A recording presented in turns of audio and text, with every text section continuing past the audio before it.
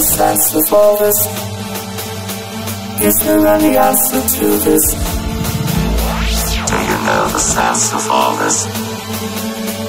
Is there any answer to this?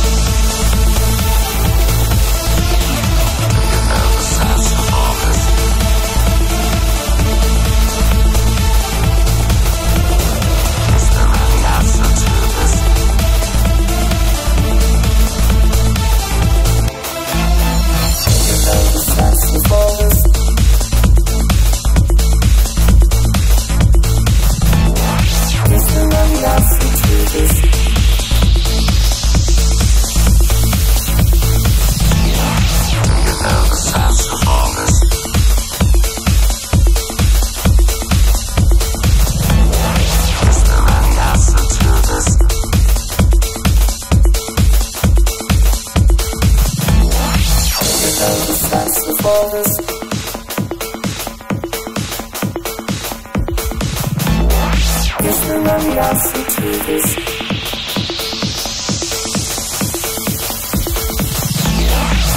know the sense of all this?